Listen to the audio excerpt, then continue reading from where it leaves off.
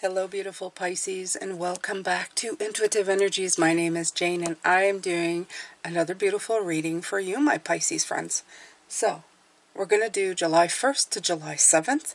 I've picked the tarot decks uh, before and after. Actually, I think this is I think this is before, and the other is after.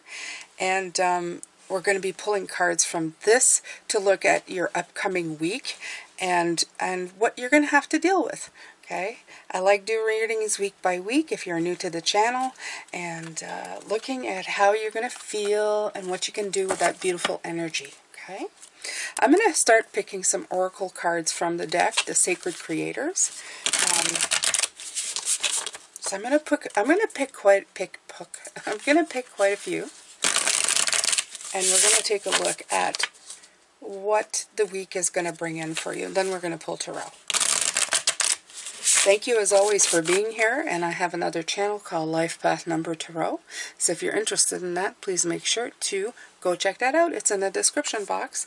If you know your life path number, I also do weeklies for that as well, including the numbers 11, 22, and 33 if your number goes to that before it goes down to its single number. Okay? So I always take the ones that flip out Befriend the word por polarize. a bit hard time with my tongue today. Unstick the stuck. The spark of hustle. And let's pick another one just for fun. And there we go. Manifesting and doing. So right off the bat, right off the bat, what a great saying, right off the bat. I wonder where that comes from. Probably from when somebody hit the ball, right? It, it was right off the bat. Um,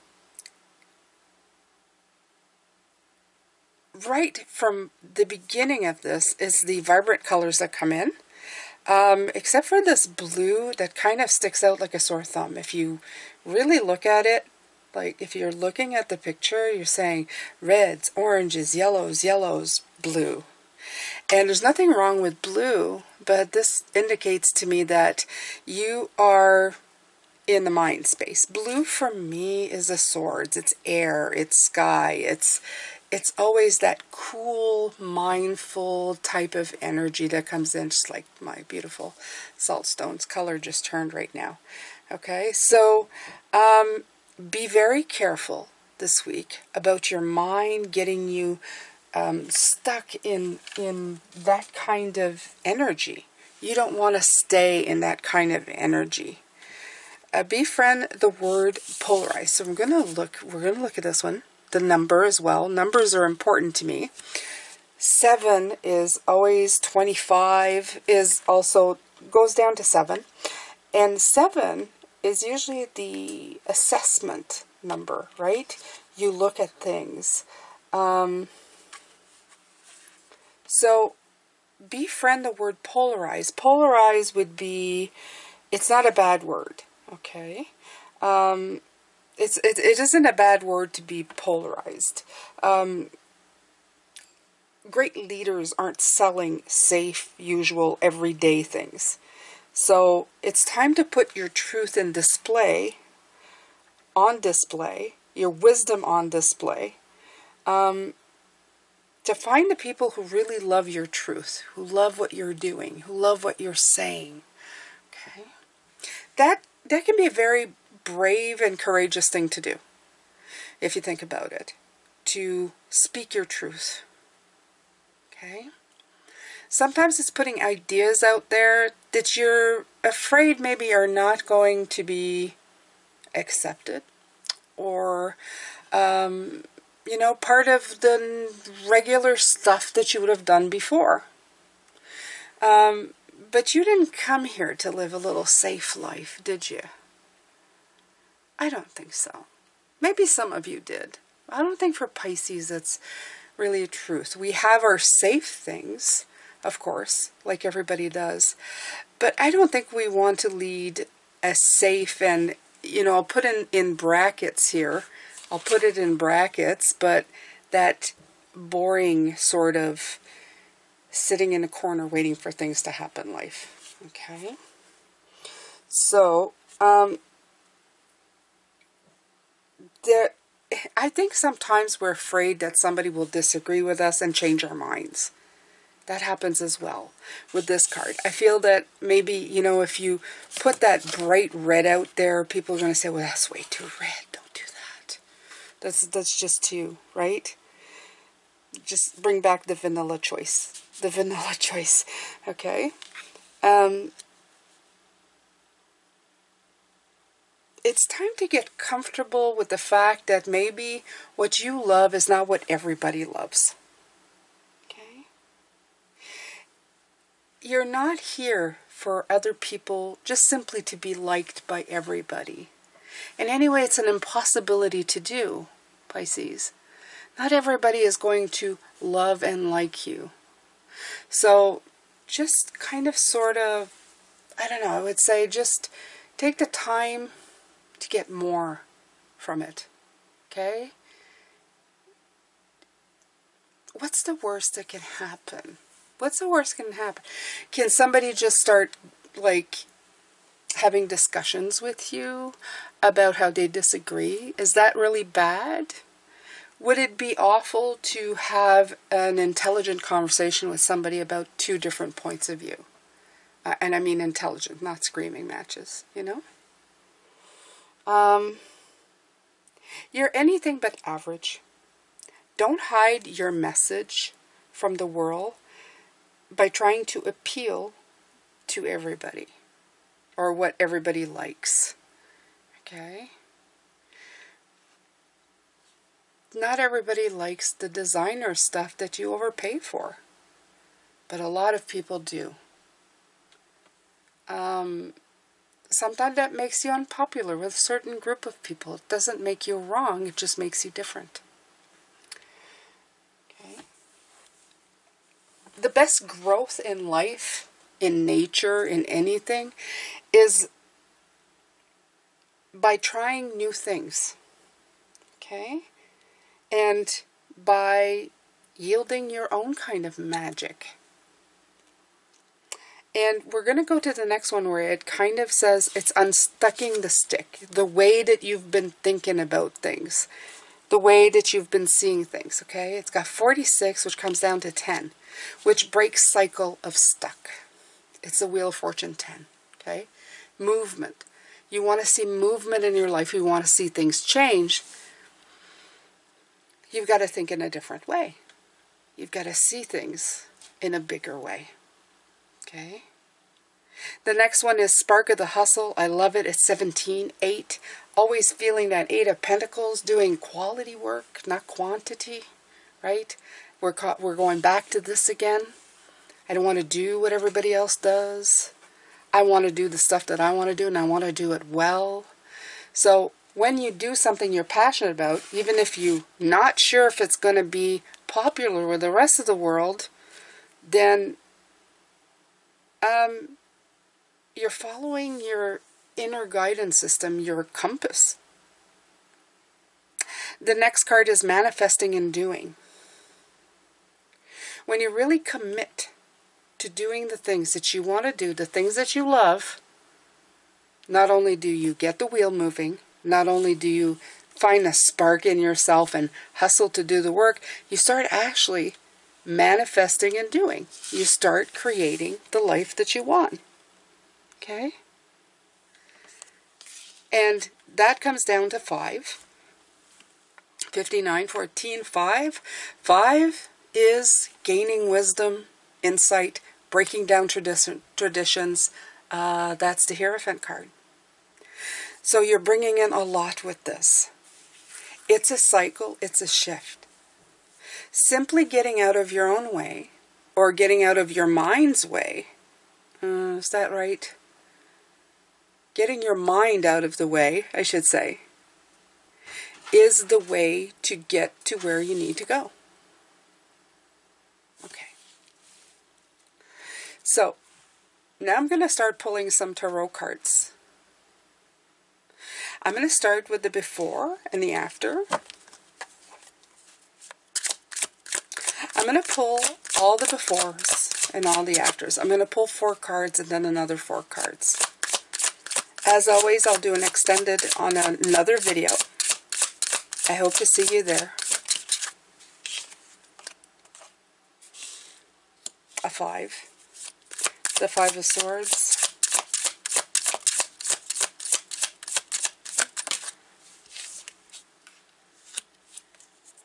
The six of wands.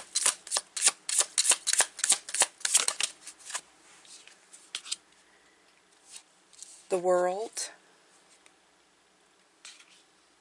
and the lovers.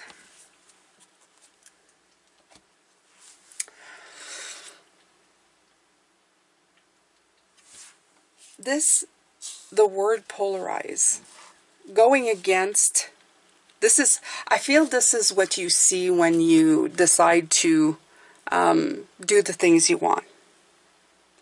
That you're going to have to battle for it, right? You're going to have to battle for your spot. I'm going to have to fight my ideas to get them in. Nobody's going to accept them. Um, either that or they'll fail. Okay? I'm going to be in a fight. I'm going to lose the battle. Um, this is what I feel that's coming. And I feel that's the mind.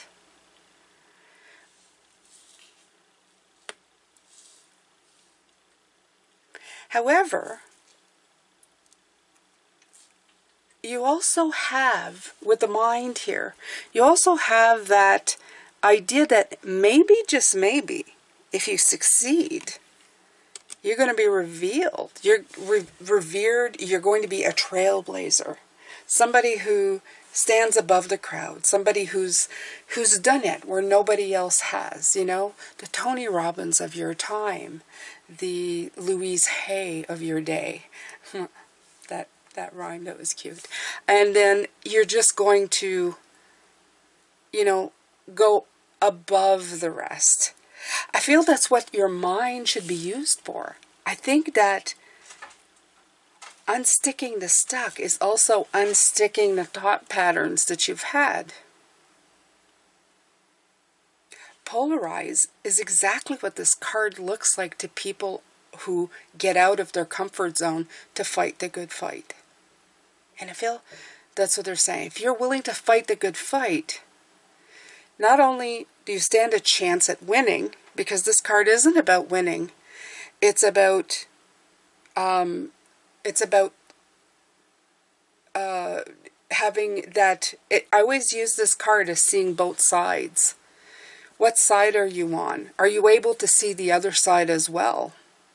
Will you win this time? Will you lose this time? But what's going to be the big takeaway from it? And it's wisdom. It's, of course, the five that come in. That's another five.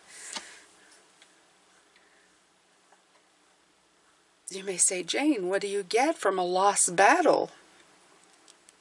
You gain wisdom. You gain insight. You gain what not to do next time. What to do next time. If I was on that side, would I have won? Would I be right? Would I see their perspective? It's about seeing the big picture. It's about asking the hard questions. It's about seeing what's there.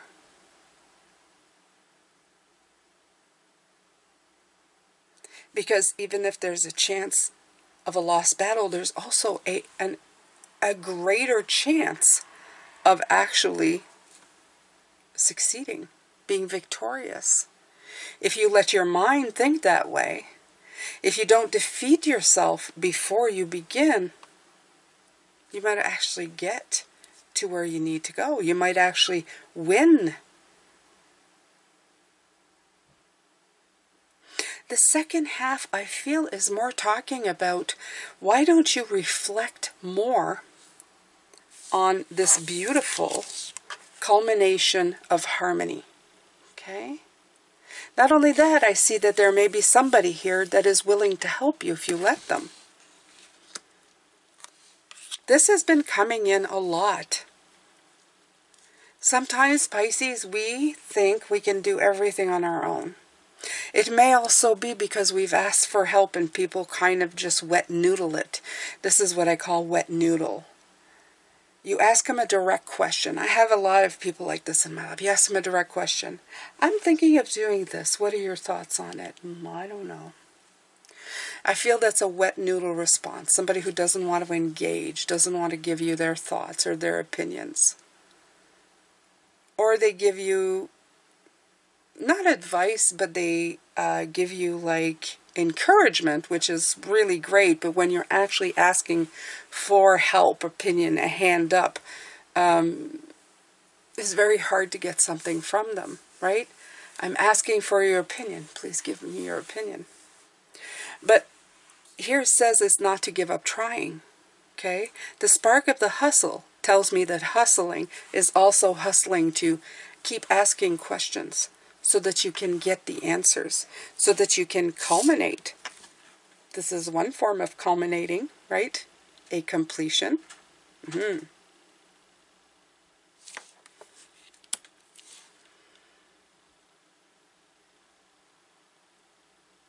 I like to think that this is like the duality of, of, of who we are, right? The masculine and the feminine combining to make a perfect a perfect you. Right? The yin, the yang. Because I think that with here, when you don't befriend the word polarize, when you don't fight for what you believe in, you're putting the masculine in the back seat. And you're not really using your masculine energy to get anywhere. You're just letting the feminine receive. But without action, there's no manifesting and doing. And that's what you need. You need a hustle. You need the action part. And that's why there is the masculine in this world card. It's usually just the feminine, but it's the masculine here.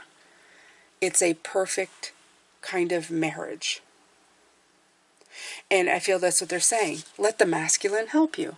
See, the masculine is putting his hand down to the feminine who is laying down, the yin, the receiving, the uh, just, you know, pondering thoughts. And he's going, come on, let's go, let's do something, let's harmonize, let's get something done.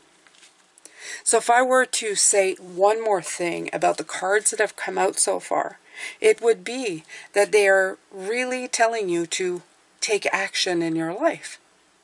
Do something more. Don't let your thoughts stop you from moving forward. Your thoughts of, ooh, that's going to cause a ripple effect, and I don't know if I, am gonna, I'm gonna sh- rock the boat. That would be a better way of putting it. I don't want to rock the boat in case somebody doesn't like the way I'm rocking it. Maybe you're rocking the boat. Have you ever done this? They're showing me rocking the boat. Have you ever done this? I've stood on a, what you would call a canoe, and stood on it and gone back and forth with my feet and created like waves. Whoosh, whoosh on each side. And I love doing this. First of all, I love the rocking motion, and I love to see the water movement on each side. I never had a big enough boat to make big waves, but I had little, little one make little waves. that was good enough for me.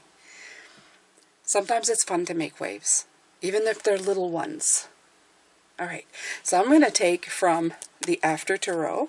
These are beautiful cards, of course, because, well, they're just, they're different. They're different than the regular ones. So, the first card to come out is the King of Pentacles.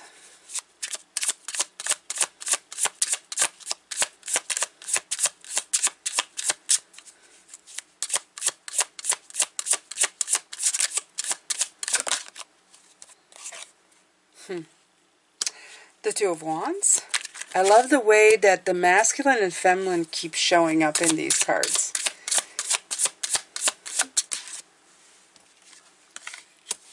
The Eight of Wands. Two Kings in the second set of cards. Two Kings. Which indicates the masculine energy really needs to come in here right away I feel that the masculine energy needs to take a role in your life right now.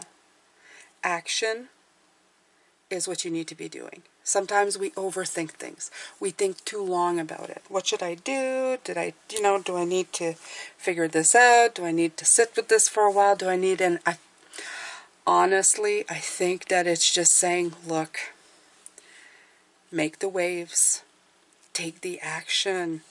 These are all very action packed cards, very action packed cards. The King of Pentacles, not only that, he offers beautiful, practical solutions. Um, he's pragmatic, he's abundant, he's successful, um, he's beautiful, he's he's that kind of that kind of king that has that stability. Um,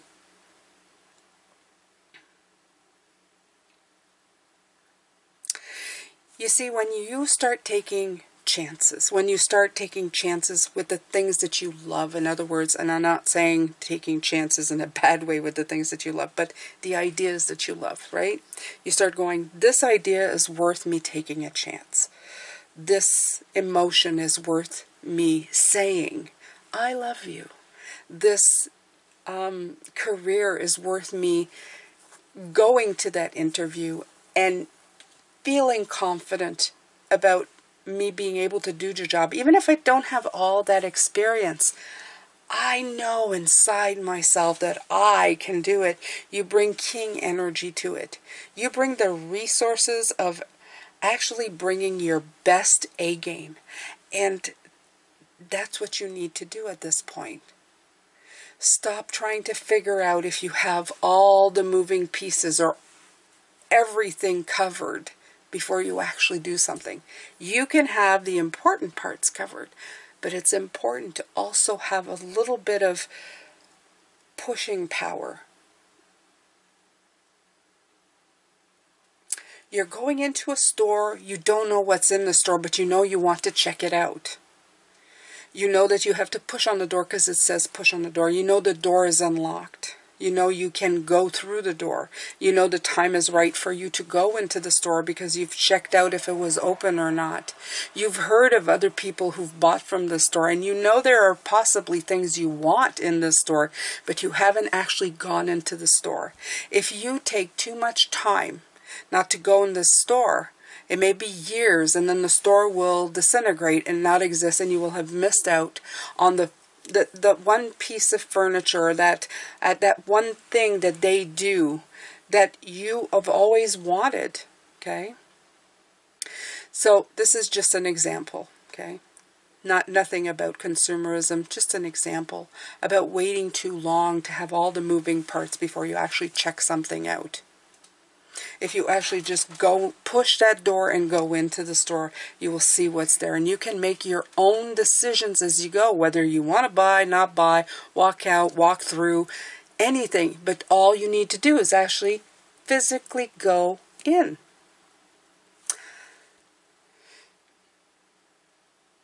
With this, again, I feel like I said, you have the masculine and feminine. So even when you're planning, you should actually have um,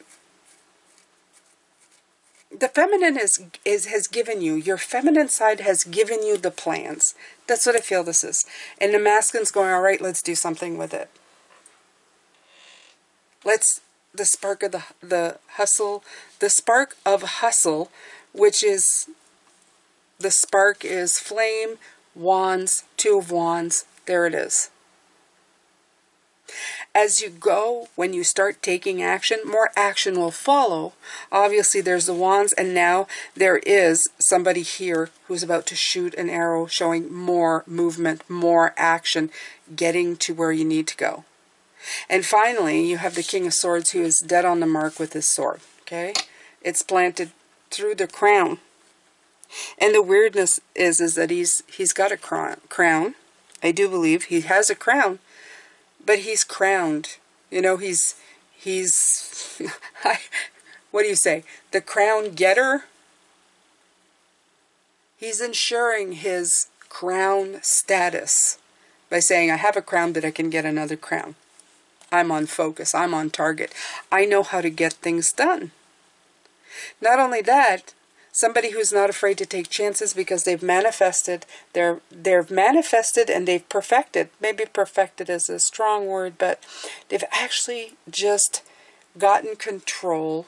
Control also a bad word for me but they've all they've just know how to handle the brain. Let's leave it at that.